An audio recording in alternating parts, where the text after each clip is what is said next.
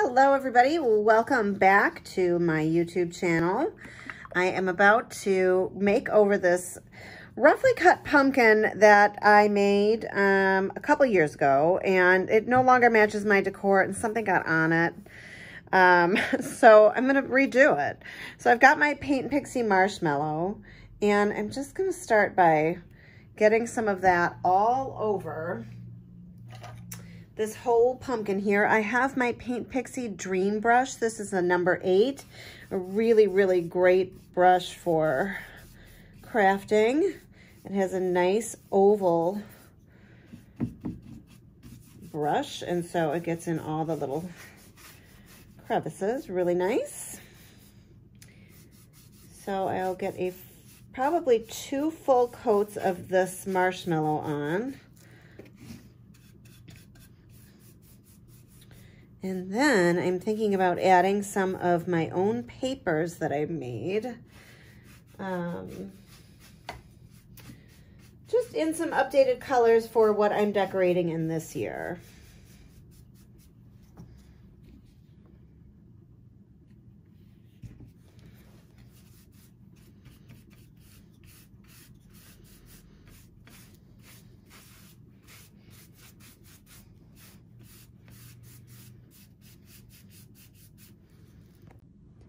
So I've got a bunch of Paint Pixie Magical Chalk Paints in front of me.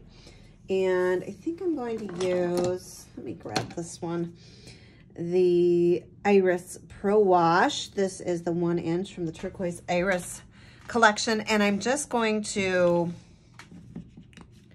I don't know, play. I'm just going to blend and play and see what happens here. So it's honeycomb. This is candied papaya. I think red velvet cake, but I, I don't know. Let me do a little candy apple. And I'll do a little red velvet cake. I want it that. I want to start with that.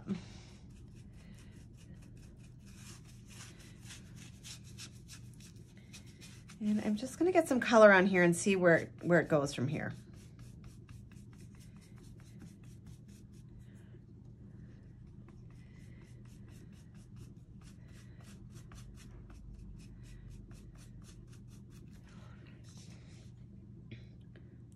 Get a little marshmallow too, just in case. I am actually just gonna squirt this a little bit with water just to get it flowing a little bit more.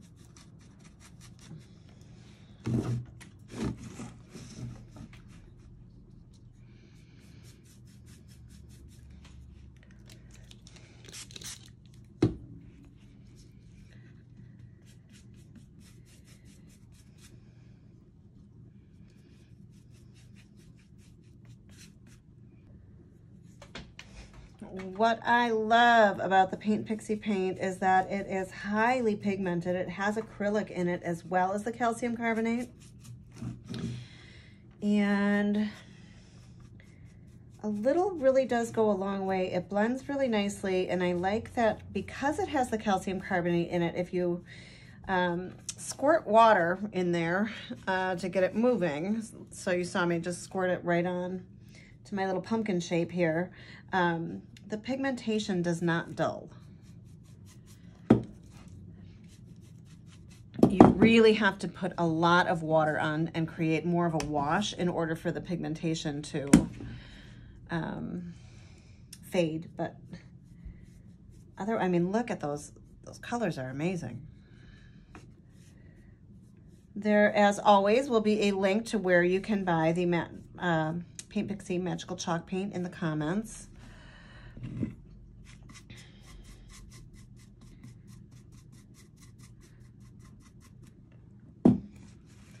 And when you get yours, I want to know what you think. It's a really, really beautiful paint.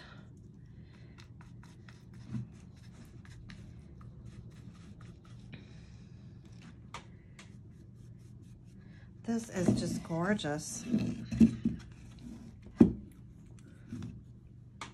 Let's see, I love how it, um, it's kind of gripping onto a little bit of the texture of the wood here. That looks cool.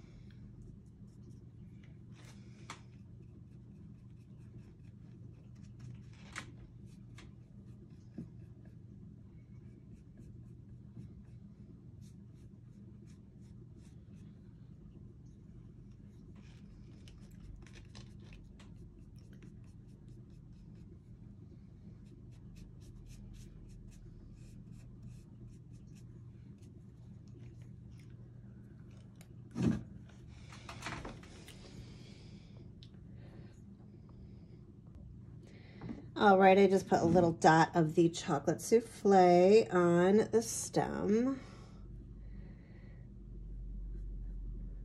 which looks very nice.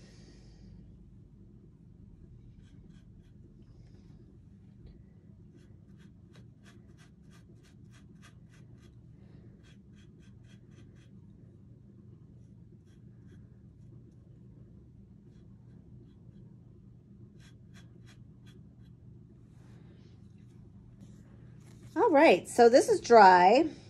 Um, if it doesn't dry super fast for you, just put your heat gun or hair dryer on it. It'll dry really, really quick.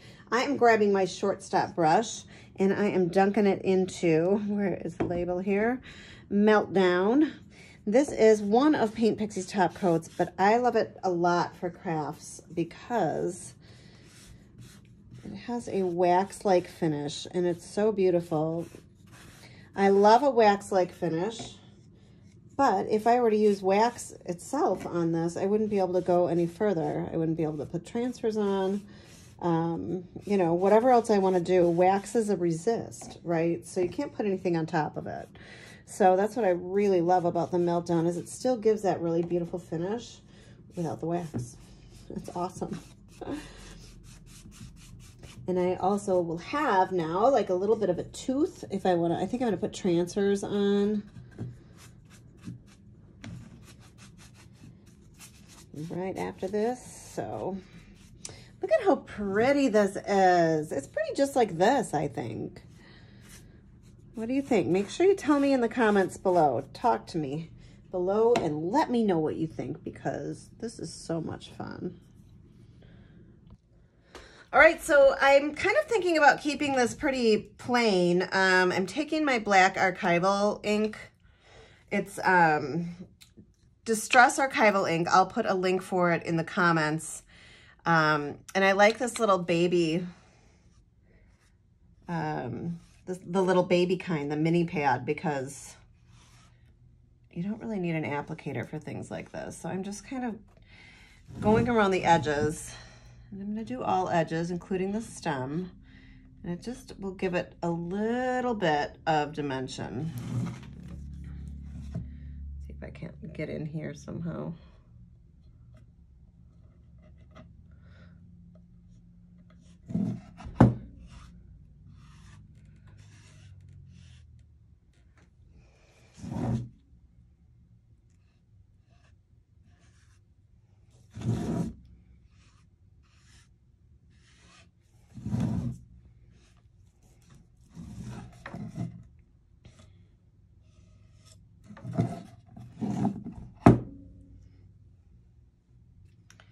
Just like that. Super easy.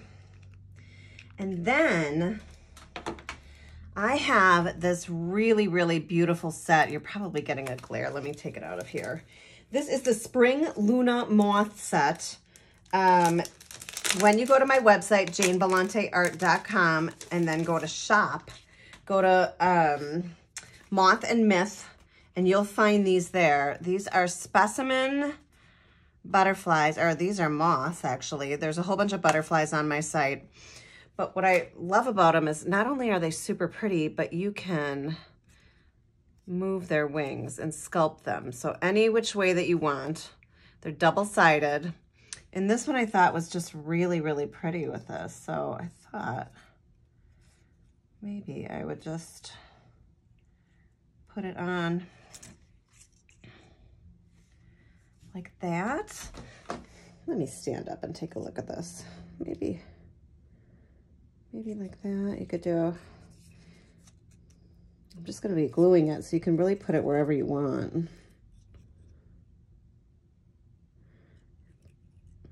Something like that. That I love. Do you love that? I love that.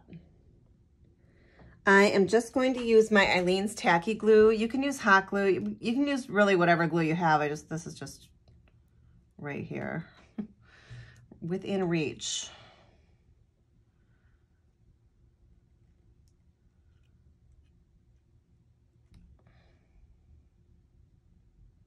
Kind of like that wing kind of flopping down a little bit. And then I'm just going to take a little brush